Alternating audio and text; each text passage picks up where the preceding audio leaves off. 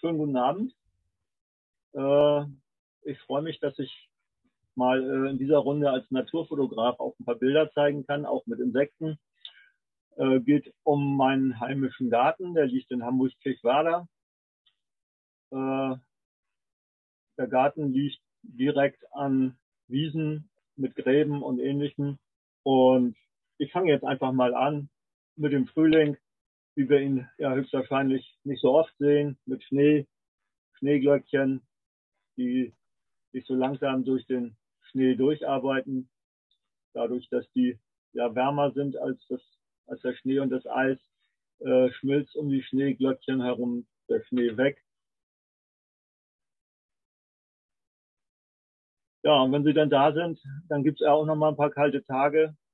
Und wir haben dann noch so ein bisschen Raureif drauf das Bild ist so ein bisschen aus der Hüfte geschossen. Das ist auch mehr äh, eine Dokumentation, dass äh, der Admiral also wirklich schon Anfang April da ist oder Ende März. Der wird also nicht äh, hier eingeflogen sein, sondern der muss hier in der Gegend äh, überwintert haben. Ja, nebenbei imker ich noch ein bisschen. Äh, meine Bienen sind also auch wieder fleißig im Frühjahr. Ich habe so äh, zwei bis vier Bienenvölker in meinem Garten stehen.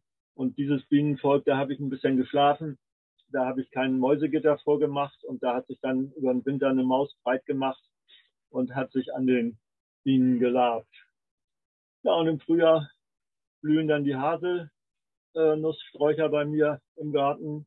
Und da sind natürlich die Bienen ganz fürchterlich dabei und sammeln den Pollen.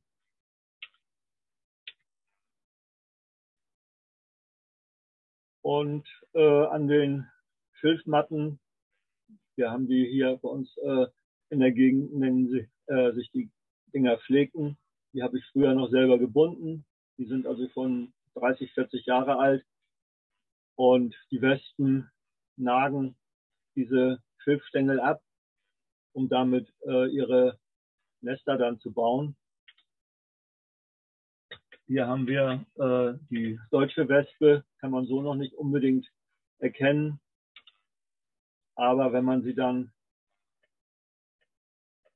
von vorne sieht, dann lässt sie sich auch bestimmen.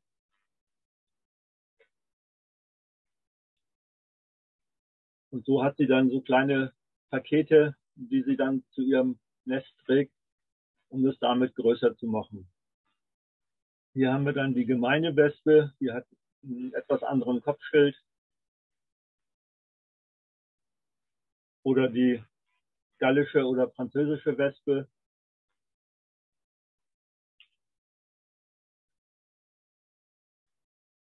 Ja, alle äh, freuen sich, dass sie da so leicht was abschaben können und das für ihren Nestbau benutzen können.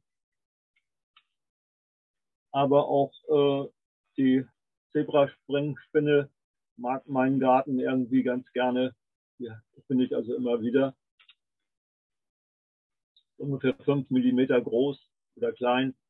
Und wenn man sie zu sehr ärgert, dann verschwindet sie dann auf einmal auch.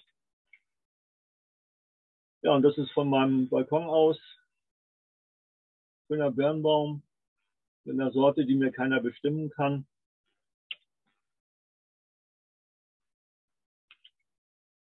Zum einen finden wir hier auch wieder die meine Honigbienen,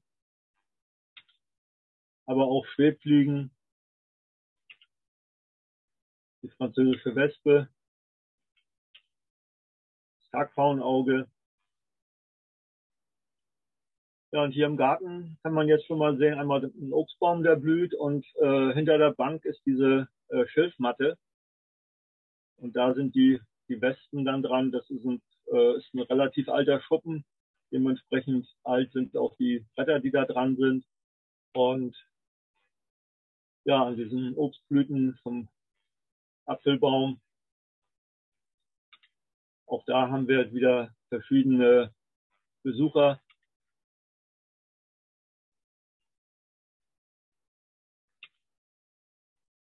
Mit Wespen, Marienkäfer. In unterschiedlicher Ausfertigung. Ja, die Bienen sind wieder fleißig dabei. Hummeln.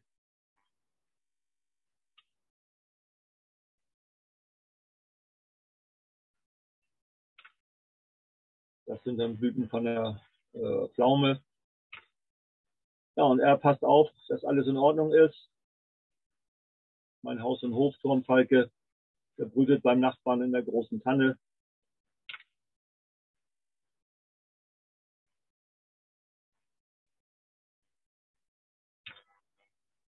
Ja, und äh, Rasen habe ich zwar nicht, aber ich habe einen Graben und an der Grabenkante blühen dann Gänseblümchen. Und da findet man dann häufig auch schon mal den großen Wollschweber.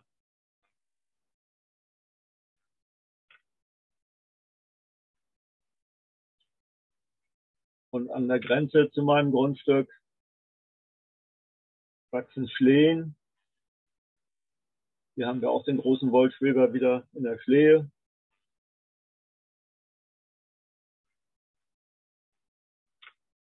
Da haben wir dann auch wieder das Faun, äh, Taxfaunauge schon reichlich abgeflogen vom letzten Jahr noch.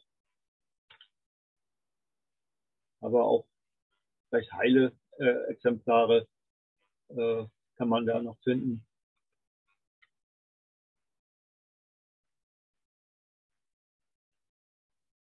Hier haben wir eine gelbe Dunkfliege mit einer Verdauungstropfen äh, am Rüssel. Schöne Spiegelung drin. Aber auch Wildbienen finden wir. Die, die rotschöpfige Sandbiene. Hier Männchen und Weibchen zusammen. Hier bei der Paarung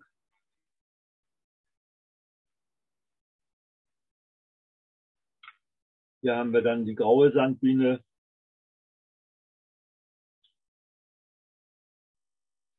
Die sieht zwar aus wie die graue Sandbiene, ist aber die, äh, oh, jetzt habe ich mich vertan. Das erste war, das war die Weidensandbiene und das ist die graue Sandbiene zu unterscheiden. Mal sehen, ob man das mit dem Cursor hier sehen kann. Hier dieser dunkle Bereich, den hat die äh, beiden Sandbiene nicht, die ist komplett grau da.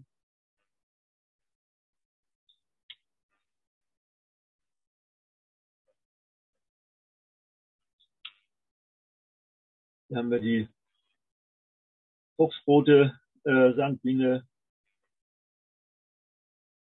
die finde ich also besonders schön. Von Farben her. Und richtig interessant finde ich die Frühlingspelzbiene. Die kann man ganz gut an diesem langen äh, Rüssel erkennen. Und wie lang der ist, kann man auf diesem Foto vielleicht ganz gut sehen. Die kommt also auch in Blüten rein, wo normal äh, keine andere Biene Zugang findet. Ja, und das sind meine Lieblinge im Garten. Äh, die Waldeidechse. Hier hatte ich ein paar Gewichtplatten hingestellt. Und die haben die im Frühling genutzt, um sich da schön aufzuwärmen. Die hier muss irgendwann mal den Schwanz abgeworfen haben, weil sie vielleicht angegriffen worden ist von einem Vogel oder so. Einmal in ihrem Leben können sie ihren Schwanz abwerfen, der zuckt dann weiter und irritiert vielleicht den Angreifer dabei.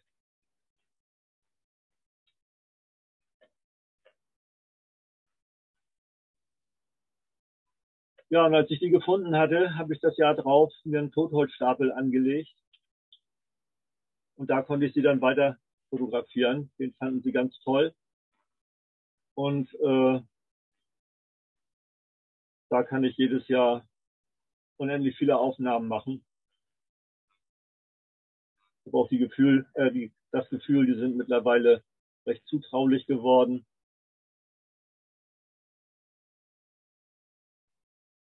Das Ganze ist also mit einem 60 Millimeter Makroobjektiv gemacht und da bin ich in etwa äh, so auf 20 bis 30 Zentimeter dran. Wenn man sich da ganz langsam bewegt, kann man sie A gut beobachten und B auch sehr schön fotografieren.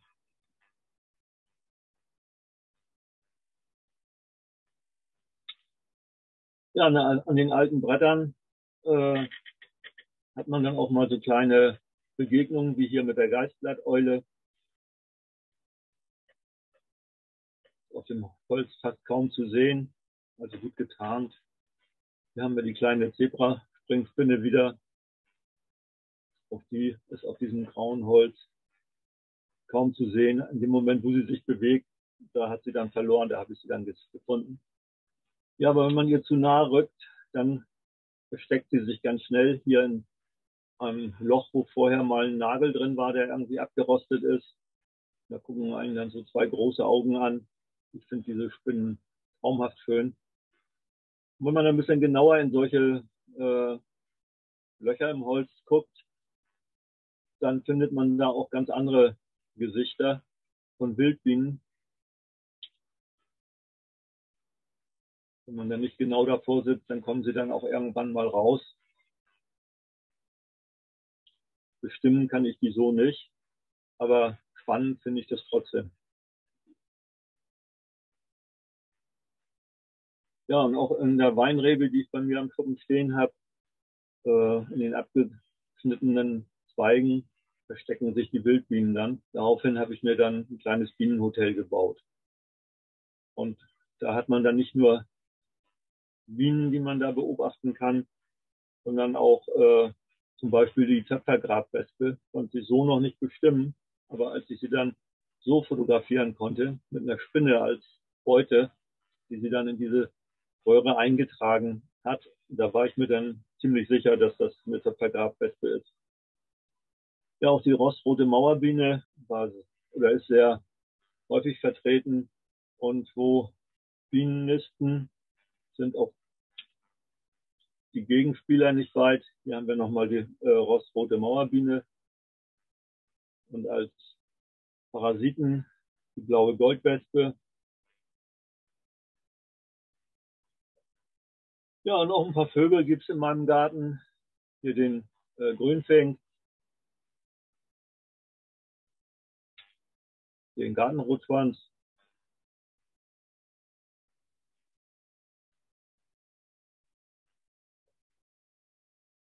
Und auch die Amsel, die ist nach dem Amselsterben hier in Hamburg wieder zurückgekehrt. Das Männchen meldet hier seine Ansprüche aufs Revier an. Und das Weibchen ist schon fleißig am Brüten.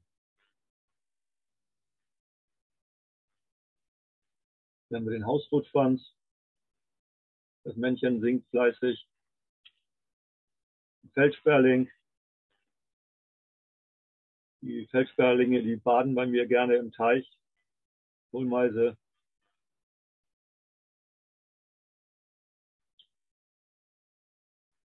Ja, auch das Rotkehlchen ist im Frühling fleißig am Singen und dabei das Revier zu verteidigen.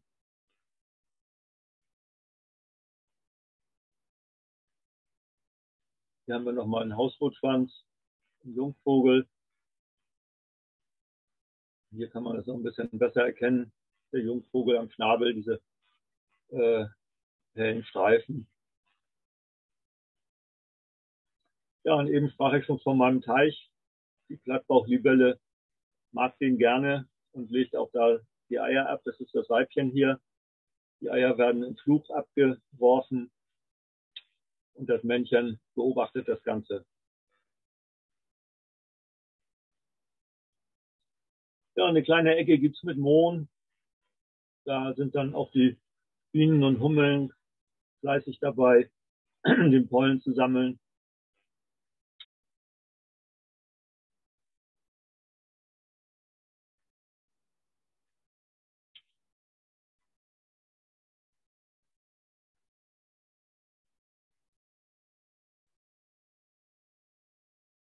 Das sind nochmal so ein paar Impressionen vom Mond.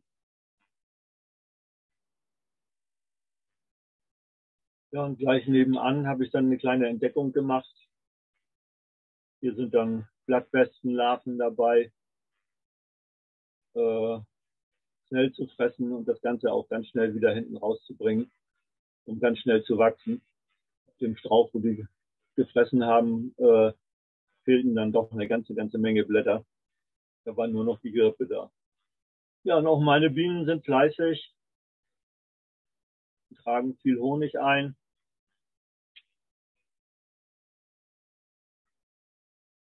Hier sehen wir eine Biene, die, äh, die den Stockduft nach draußen fächelt, damit die ankommenden Bienen dann genau wissen, in welches Volk sie dann einfliegen müssen. Ja, und wenn man dann nicht so richtig aufpasst als Imker, dann passiert dann sowas. Dann hat man plötzlich einen Bienenschwarm in seinem Garten, den man dann einfangen muss. Hier nochmal so ein bisschen rein fotografiert in den Schwarm selber. Der kommt dann in eine äh, extra dafür angefertigte Kiste. Die Kiste kommt eine Nacht den Keller, damit sie sich wieder beruhigen und dann können sie in einen neuen Bienenkasten eingeschlagen werden und vermehren sich redlich und sammeln viel Honig. Hier bin ich mir absolut nicht sicher, was das für eine Biene ist. Auf jeden Fall keine Honigbiene.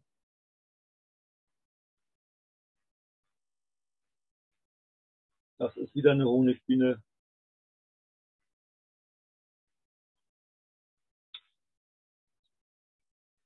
Das müsste die rotschöpfige Sandbiene sein. Und das ist die Gartenwollbiene oder große Wollbiene. Hier das Männchen. Das ist gut zu erkennen an den drei Zacken am Hinterleib, äh, wo sie jedes Insekt, was auf seine Blüten geht, ganz fürchterlich attackiert und auch schon mal äh, von anderen Bienen oder anderen Wollbienen die Flügel bricht.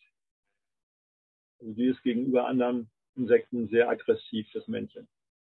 Und den Wollzis, den ich bei mir im Garten gepflanzt habe, den mögen die großen Wollbienen gerne, weil sie die Fasern davon abnagen und damit dann auch ihre Nester auspolstern.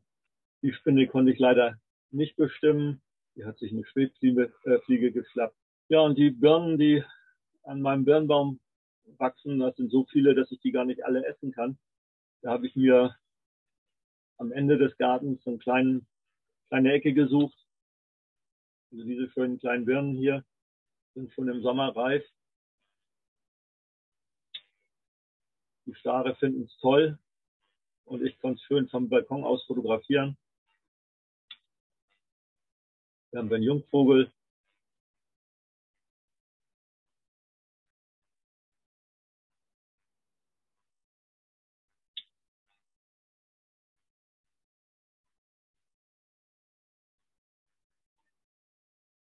Ja, und das ist der Berg, wo die, wo das Obst draufkommt, wo ich das immer hinschütte.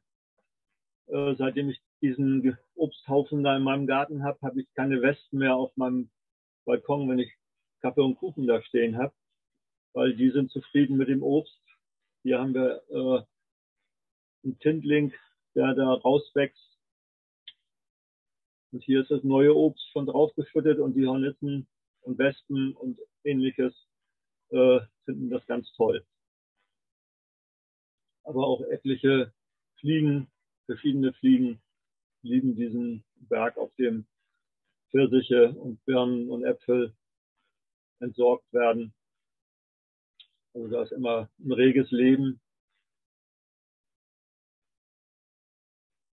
Das ist eine Goldfliege. Hier haben wir eine Fleischfliege.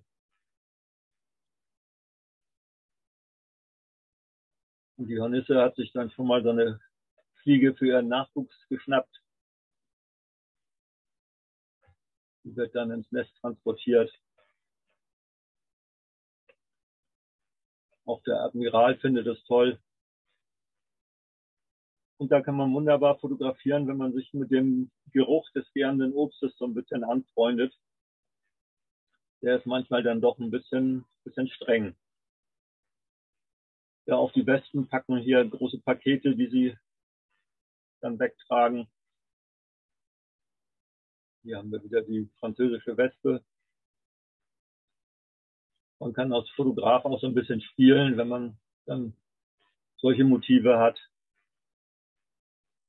Aber auch nur zum äh, Beobachten finde ich das unwahrscheinlich interessant. Hier haben wir eine graue Gartenwanze die sich auf dem Pfirsich niedergelassen hat. Ja, und auch der Viral ist in größerer Zahl dann immer mal da.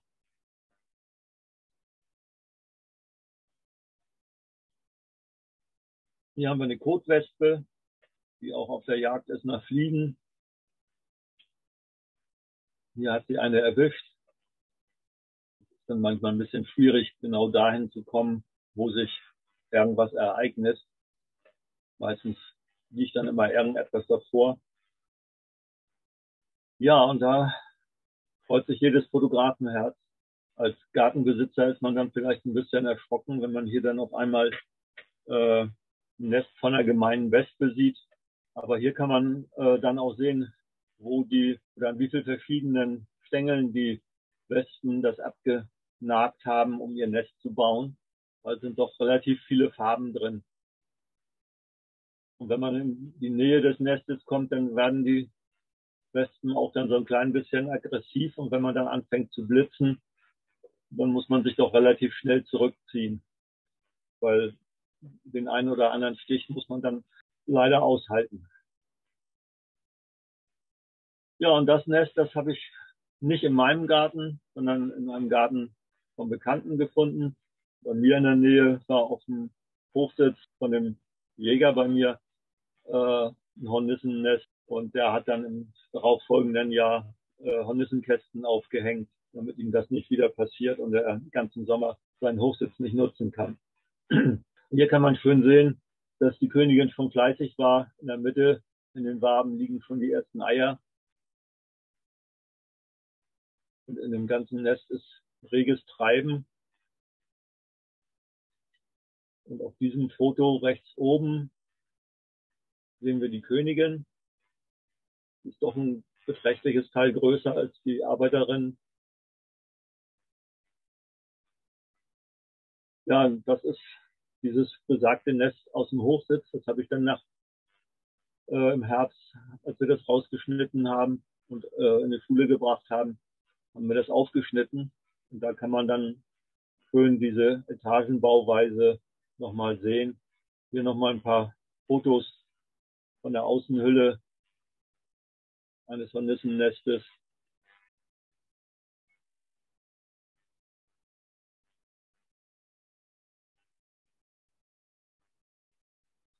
Hier mit Lüftungsschächten,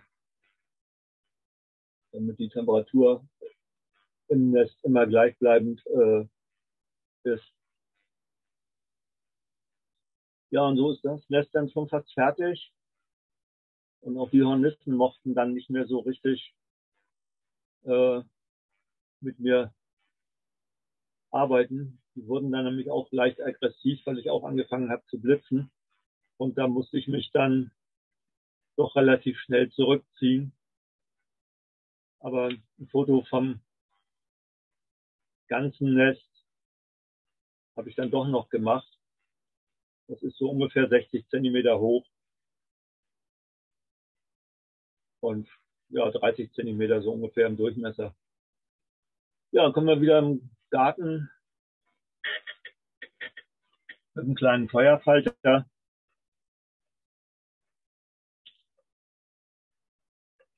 Hier mit geöffneten Flügeln.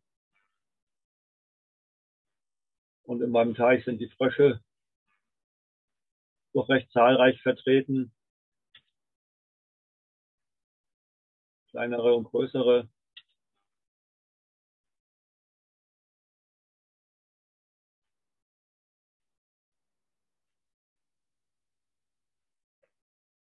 Ja, aber auch die müssen auf der Hut sein. Nehmen wir nochmal eine Schnecke. Weil die Ringelnatter besucht häufig meinen Teich und ich denke mal, den einen oder anderen Frosch wird sie da auch erbeuten. Ja, der Mond ist abgeblüht, aber als Fotomotiv taucht er eigentlich immer noch.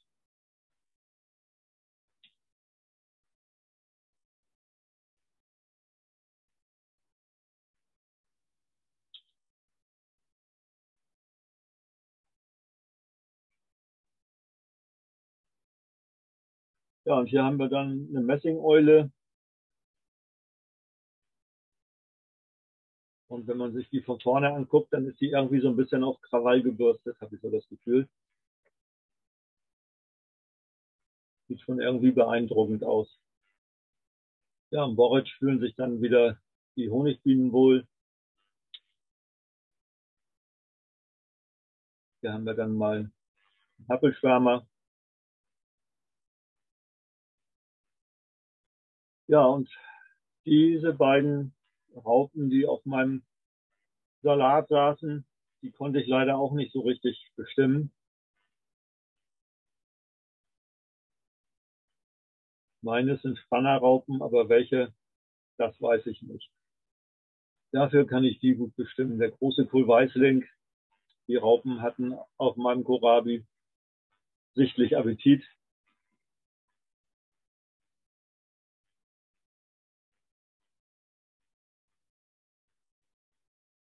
Ja, und auf dem Salat saß der kleine Kohlweißling und hat sich meinen Salat schmecken lassen.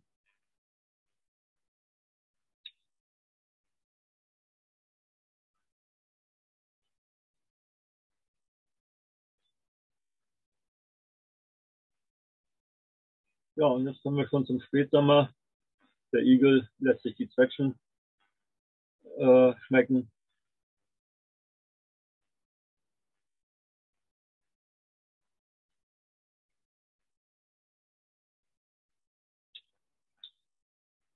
Und das Salzreptil mag die Zwetschgen auch ganz gerne.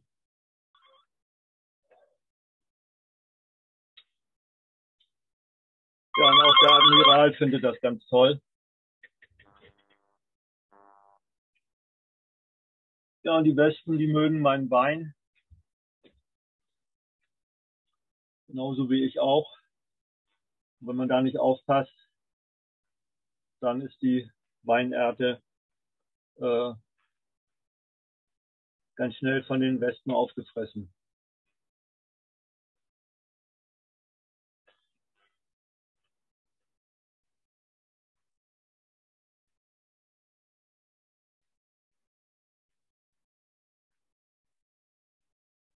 Ja, und die Sonnenblumen sind fleißig am Blühen. Das finden die Hummeln toll.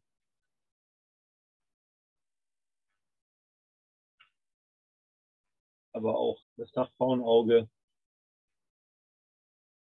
Nachher im Herbst und Winter hat man dann was für die Vögel.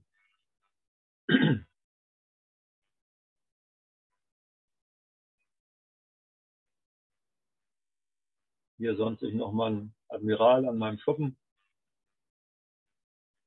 Ja, und meine Lieblingsblume, die Dahlien, die sind zwar nicht unbedingt für Insekten das Richtige, aber fürs Auge äh, und zum Fotografieren müssen immer ein paar von den Blumen bei mir im Garten stehen.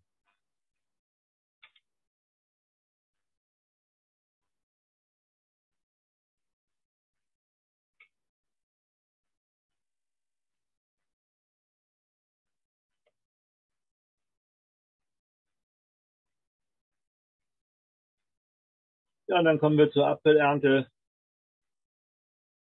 Da ernte ich dann auch nicht immer so ganz alleine. Die Marienkäfer sitzen dann teilweise auf den Äpfeln oder aus den Äpfeln selbst. Kommt dann auch mal jemand raus und sagt Hallo. Hier sonst sich eine Heidelibelle auf dem Apfel, so im letzten Sonnenlicht noch. Aber auch Schnecken fühlen sich drauf wohl.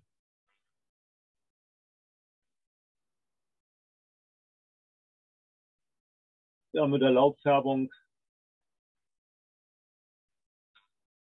zieht dann der Herbst im Garten ein.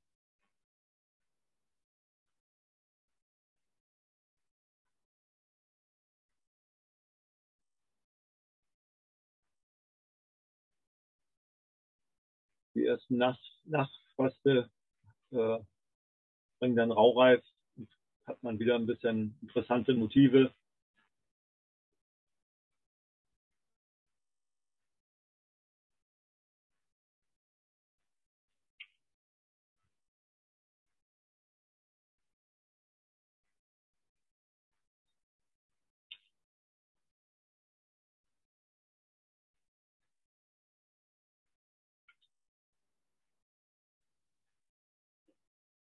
Und im Gras an der Grabenkante findet man ab und an mal ein paar Pilze.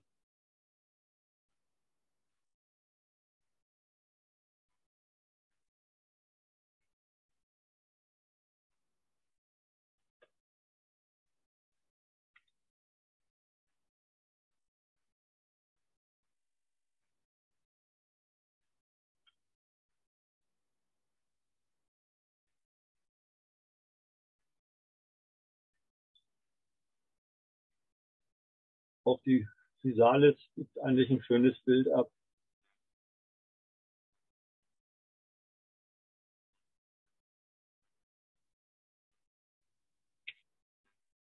Ja, an den Vogelbeeren sind dann die ersten Vögel. Zuerst ein Stare, ein Bergfink, der sich die auch schmecken lässt. Die Wacholderdrossel,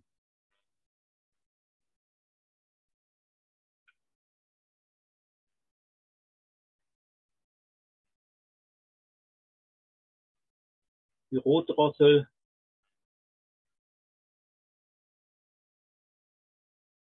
Ja, und ab und an lässt sich dann auch mal der Sperber sehen. Und mittlerweile liegt bei mir immer mein Fotoapparat mit dem Teleobjektiv im Wohnzimmer, sodass ich dann immer mal vom Balkon aus schnell Bilder machen kann.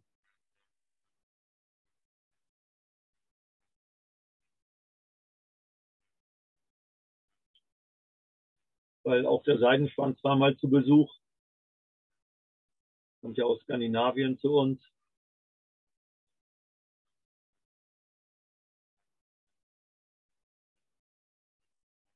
Ja, im Winter bleibt ja das Rotkehlchen bei uns, sodass man da auch mit Raureif und ähnlichem was machen kann. Und hier haben wir dann richtig Raureif. Die Rotdrossel sitzt im abgeernteten Baum und auf dem Baum daneben ist dann doch noch ein bisschen was zum Fressen.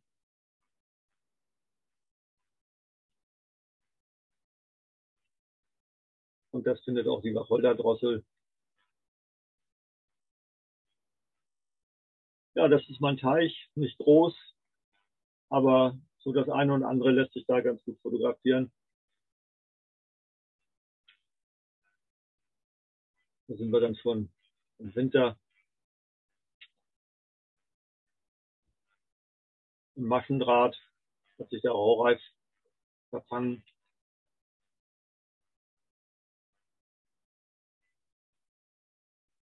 Auch ein bisschen Schnee. Ja, in meinem kleinen Gewächshaus an den Scheiben hat man dann tolle Eiskristalle, die man in den Morgenstunden dann fotografieren kann, bevor die Sonne die alle wieder wegfrisst.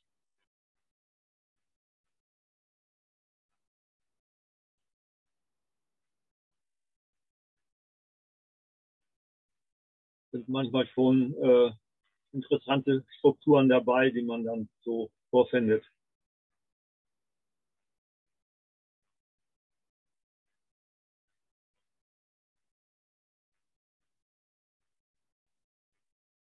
Ja, das sind alles Fotos von aufgefrorenen Scheiben. Und wenn dann ein bisschen Schnee gefallen ist, dann hat man tolle Eiskristalle,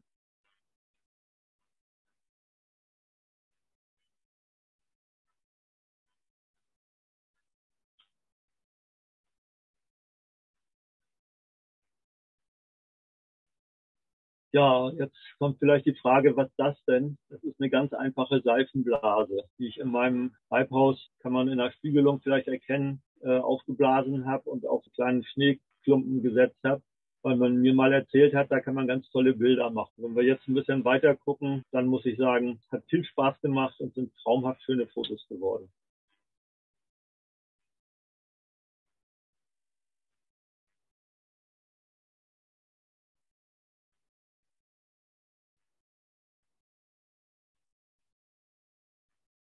Das Ganze hält sich dann so ungefähr ein bis anderthalb Minuten.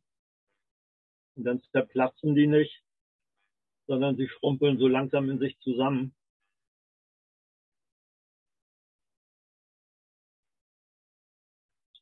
Ja, mit diesem Foto möchte ich mich für Ihre, eure Aufmerksamkeit bedanken. Ich hoffe, es hat gefallen.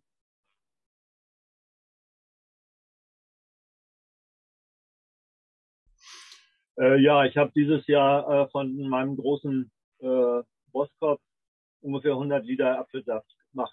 Äh, gemacht. Äh, da liegen ein paar Pfirsiche und ein paar Birnen und äh, ein paar Äpfel. Äh, das reicht eigentlich. Und äh, das mache ich jetzt schon seit einigen Jahren, weil ich einmal die Wespen von meinen Bienen fernhalte, aber eben auch von meinem Balkon. Ne?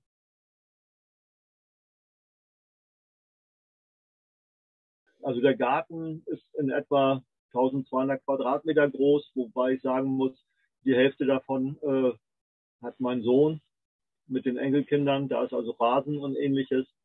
Äh, und die andere Hälfte äh, habe ich. Wobei davon ungefähr ja, zwei Drittel für Gemüse und so äh, und ein Drittel äh, ist Chaos. Da sind eben Blumen und alles Mögliche. Und das äh, da sagt dann der eine, oh Gott, oh Gott, und der andere sagt ein Paradies. Und ich muss auch sagen, dieses Drittel ist wirklich ein, ein Paradies. Da kann ich stundenlang fotografieren und immer wieder neue äh, Sachen entdecken.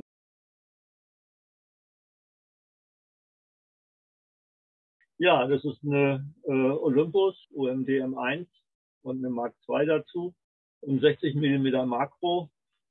Die Olympus ist ja eine äh, Micro Four Thirds Geschichte, also wo ich praktisch einen zweifachen Kropffaktor habe zum normalen Kleinbild. Das ist dann eben halt das 60 Millimeter Makro und 120 Millimeter zum Kleinbild und eben halt ein 300 Millimeter. Das ist dann auf Kleinbild berechnet eben 600 Millimeter. Und die Aufnahmen sind alle außer Hand gemacht.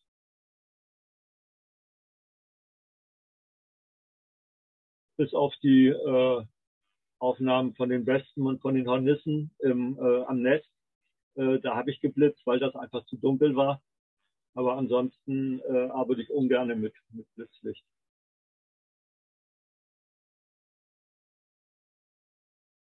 Ja, ich hatte dieses Jahr das erste Taubenschwänzchen, das ich leider nicht fotografieren konnte. Das habe ich dann woanders äh, machen dürfen. Aber äh, zwei Stück habe ich bei mir im Garten gesehen.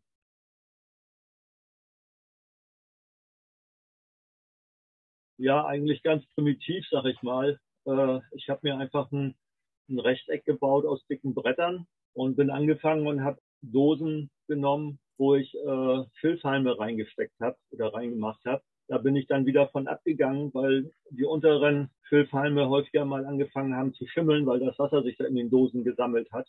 Ich habe dann bei mir noch so kleine Stücke oder Reste von, von einer äh, Regenrinne gefunden, so Kunststoff, und habe die dann genommen. Da kann das Wasser eben halt hinten gleich wieder raus. Und die Schilfhalme, die ich genommen habe, die sind eben halt von diesen Schilfmatten, von denen ich gesprochen habe. Da habe ich ein paar mehr noch von. Und dadurch, dass die so alt und trocken sind, kann man die mit einer ganz feinen Säge sägen. Und äh, dann splittern sie eben nicht. Wenn man eine Schere nimmt, dann, dann splittern die halt.